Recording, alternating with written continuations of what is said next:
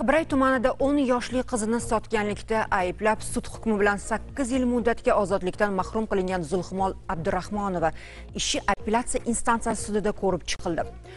Huquq faollari bu ishni yollanma odamlar ishtirokida amalga oshirilgan yasama jinoyat deb atab tergov noqonuniy o'tkazilgani va adolatsiz hukm chiqarilganini bildirishgandi.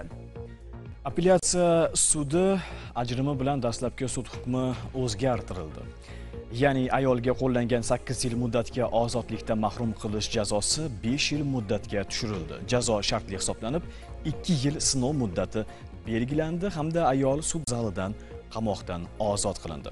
Hozir esa namangan viloyatida aniqlangan jinoyatning tafsilotlarini ochiqlaymiz bugun yer bilan bog'liq masalalar oshkor va shaffof bo'lishi uchun hukumatimiz tomonidan e auksion elektron tizimi yo'lga qo'yilgan.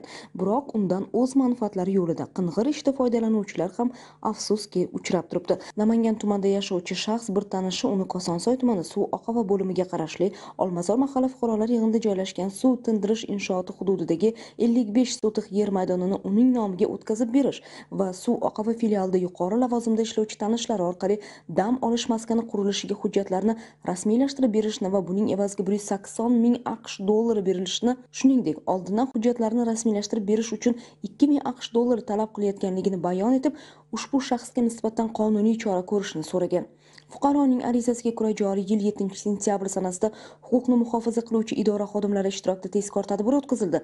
Tezkor tadbirda kosonsoy tumani navbahor mahalla fuqarolar yig'inida fuqaro muqaddam 2020 yilda jinoyat kodeksining tegishli moddalari bilan aybli deb topilib jazo o'tayotgan bo'lsa-da arizachining ishonchiga kirib namangan davlat o'rmon xo'jaligiga tegishli bo'lgan 55 sotix yer maydonini go'yoki o'ziga tegishli ekanligi haqidagi kosonsoy tumani suv oqimi bo'limining 2018 yildagi yig'ilish bayoni va shartnomasini ko'rsatib uni aldab ushbu yer maydonini 180 ming aqsh dollariga sotishga kelishib oldindan hujjatlarni rasmiylashtirib berish evaziga undan 2 ming aqsh dollarini olgan vaqtda ashyoviy dalillar bilan ushlangan va pullar xolislar ishtirokida tekshirish uchun olingan.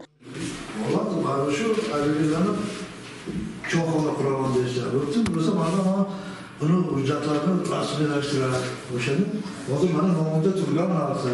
Keyin man davlat bo'lishi kerak birga bo'lmasa quramiz dedim hozirda yuqoridagi holat yuzasidan fuqaroga nisbatan firibgarlik ya'ni aldash va ishonchni suiiste'mol qilish yo'li bilan o'zganing ko'p miqdordagi mulkini qo'lga kiritish va pora berishga dalolat qilishi yuzasidan o'zbekiston respublikasi jinoyat kodeksining bir qator moddalarida nazarda tutilgan jinoyat alomatlari mavjudligi sabab unga nisbatan ushbu moddalar bilan jinoyat ishi qo'zg'atilib tergov ishlari olib borilmoqda. Albatta egri yo'l o'z sohibini oxir oqibat jarlik sari yetaklaydi. Avvalgi qilmishlardan jinoyatidan xulosa qilmagan tuzalish yo'liga o'tmagan ushbu shaxs endi o'ziga nisbatan beriladigan jazo turini yanada og'irlashtirishi mumkin afsuski. Bu kun hulkar ismoilova namangan.